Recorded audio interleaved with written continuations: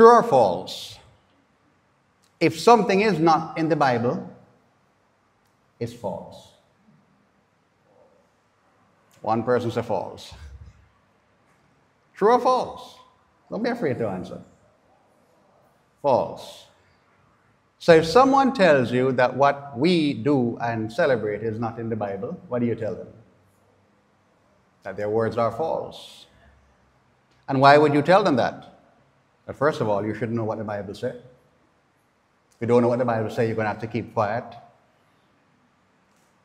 But there's nowhere in the Bible that says if it's not in the Bible, it is false. If something is in the Bible, it's true. But there's no way in Scripture that says if something is not in the Bible, it is false. And for those who have been coming and for those who have been paying attention when you come, you will see how we have debunked that statement with purgatory, with the intercession of the saints, with the doctrine of the Trinity, and so many other doctrines in our church that have developed over time because of the guidance of the Holy Spirit. Jamaica is a Christian country, but too many Christians speak what no goes in the Bible. And so when they speak and say, Scripture says, you must either be able to verify it or say to them, I'll get back to you. Because today's celebration, the Assumption of our Blessed Mother, some will say it's not in the Bible. Just like how they will say purgatory is not in the Bible. The intercession of the saints is highly questionable. Trinity is not in the Bible. And some of what you do, those practices are not evident in the Bible. Some will say today's assumption of our Blessed Mother is not in the Bible. Is artificial intelligence in the Bible? And yet it exists. Is the word computer and technology as separate words? Are they in the Bible? Yet they exist. So, for those who take the time to read Scripture, understand Scripture, and are not content to live shallow lives, will take comfort and confidence in what we do.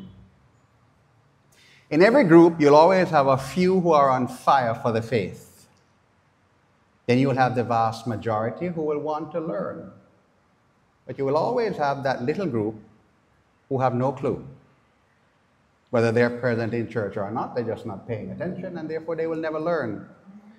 And so when they are confronted with false claims from others, these are the ones who quickly leave the church because they never took time to learn what we do, what we believe in the first place. And it doesn't matter how young they are, doesn't matter how old they are.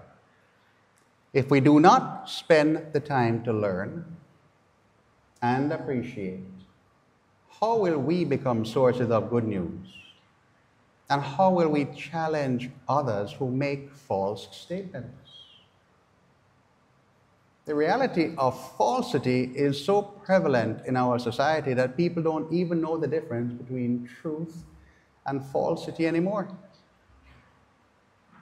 The reality of fake news another nice term for gossiping, another nice term for blatant lie, is very much evident. When people speak with each other, honesty is absent too often. When people make their posts on social media, they don't take the time to investigate. And so they pass on that which is not true, and therefore that which is not of God. Let's look at the assumption. First of all, from a biblical basis. Now, we could spend the entire day looking at this, so I'll just keep it to the point. In the book of Genesis, we hear that the Lord created Adam and Eve, the first woman. Mary, over time, is understood to be the new Eve the one who will bring new life, Jesus Christ, into the world, the creator of all that exists.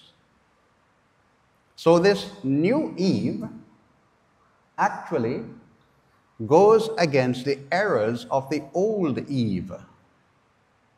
What did the old Eve do? She listened to the father of lies. Her ears were not only quite ready to listen to the lie told to her, but she was ready to act on it. So that the first quote unquote woman in the Bible, although she had that deep relationship with God who came and walked with them in the cool of the evening, they heard his voice, they felt his presence. Somewhere along the line, the father of lies moved in.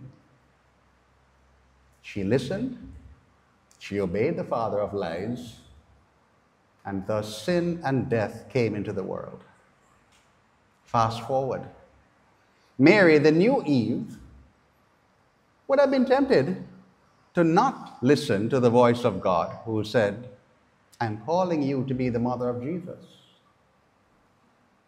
Mary, the new Eve, understood that God had a special task for her, but she was always free to say no.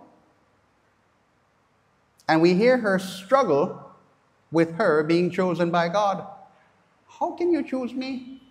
I'm not yet living with my husband. That's an internal struggle we all have when the voice and word of God reaches our ears and penetrates our hearts. If we have never struggled with the Word of God, chances are we're not listening carefully. So this new Eve heard the voice of the one who speaks truth.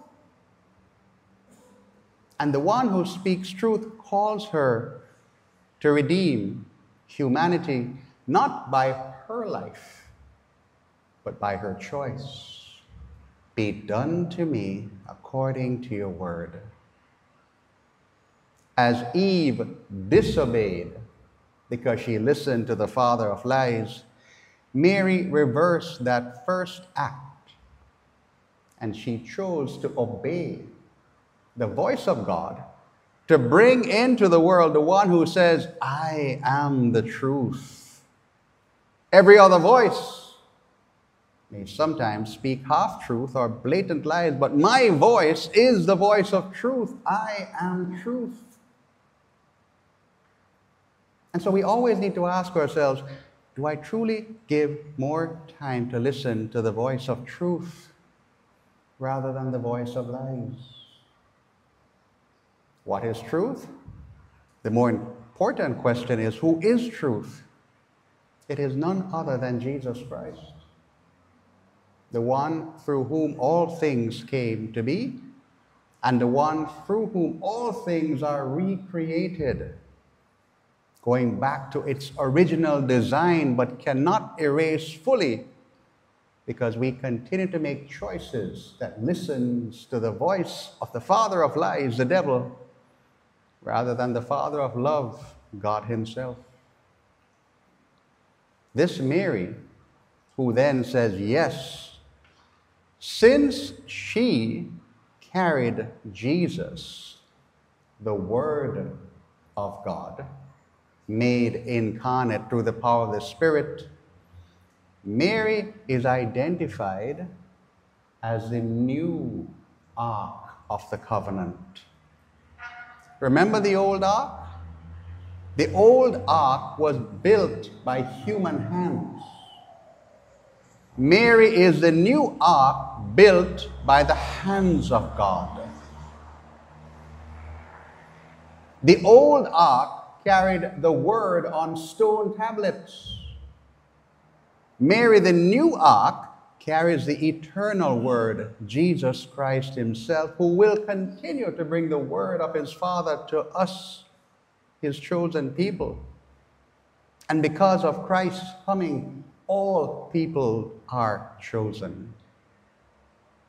And this ark that was carried into the hill country of Judah, we hear in today's gospel reading Mary, the new ark, the one who carries the word, the living word, Jesus Christ, she rushes into the hill country.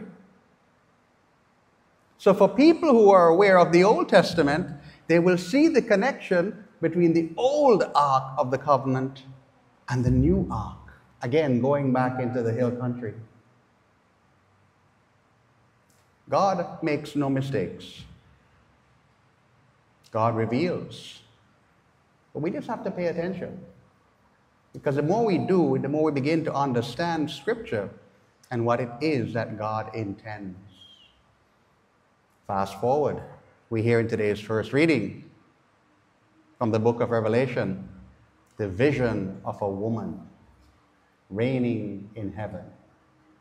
It can't be Eve because of her disobedience, sin and death came into the world.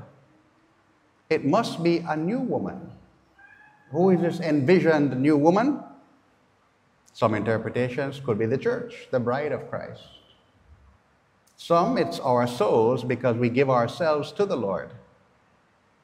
But the most fundamental interpretation is that this woman is a new ark. The woman who chose to listen faithfully to the voice of God when we know honestly we don't do it all the while. The woman who said yes to what God wants when we know we often say no and fall into sin. The woman who was the mother of Jesus Christ,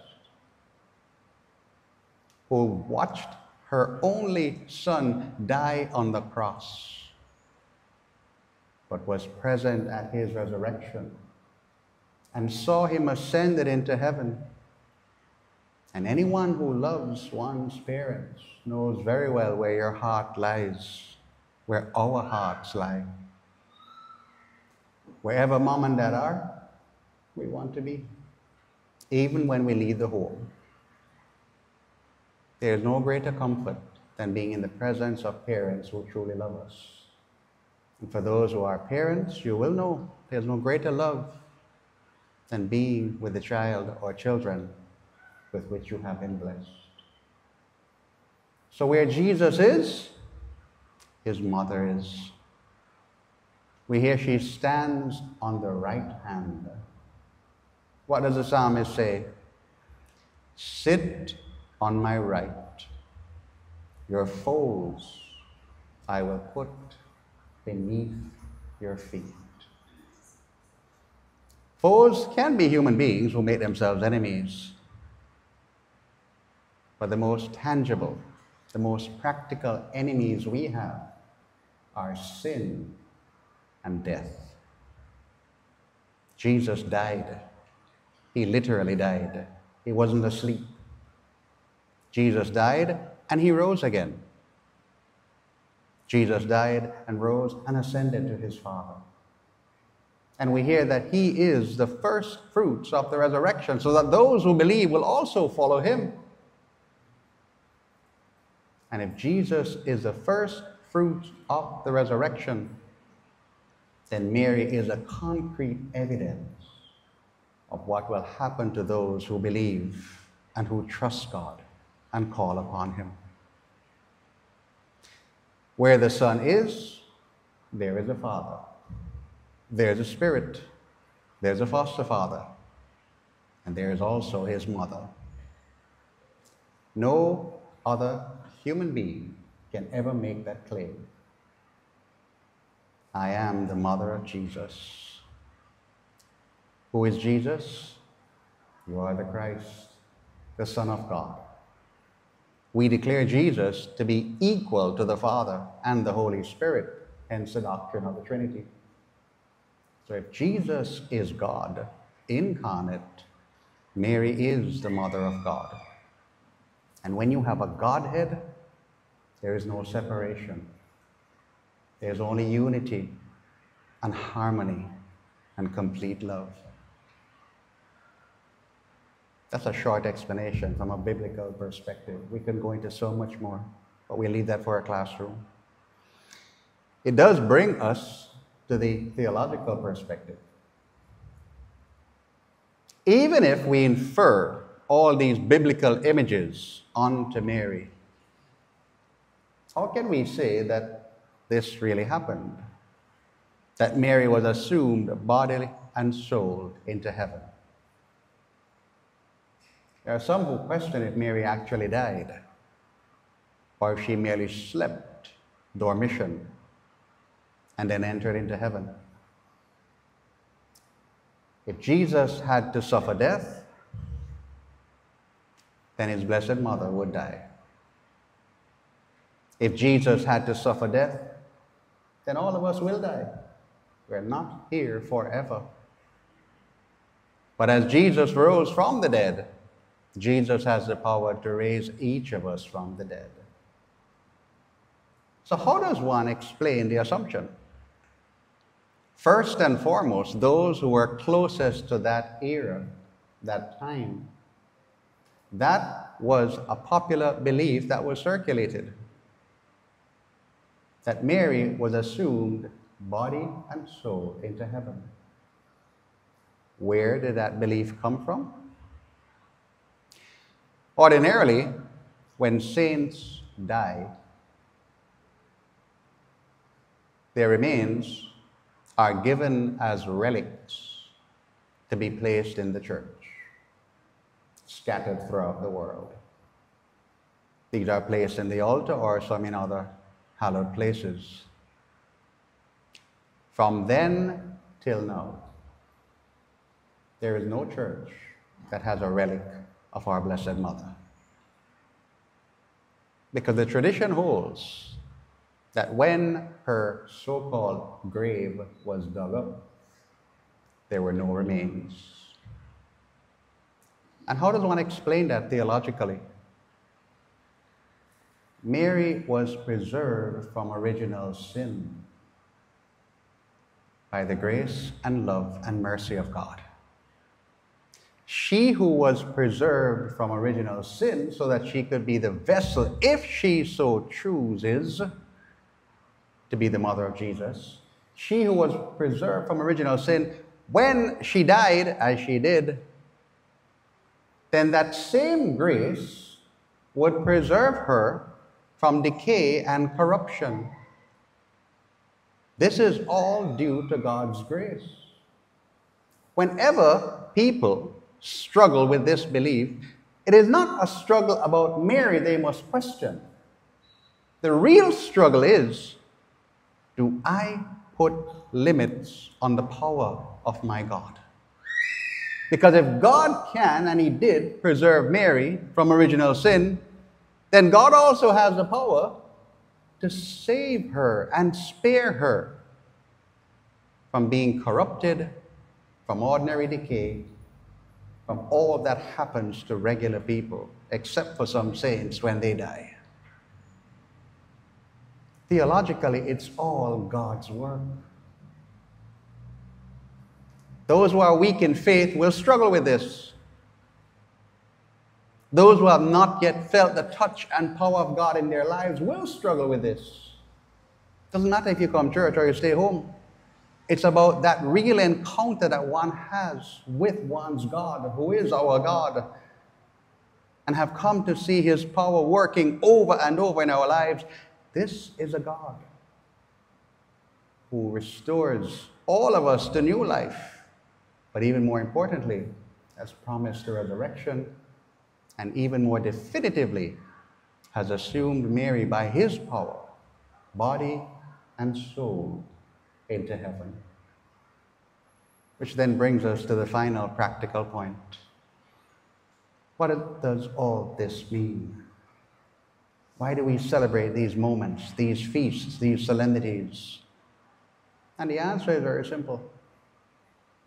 What God has done for others completed.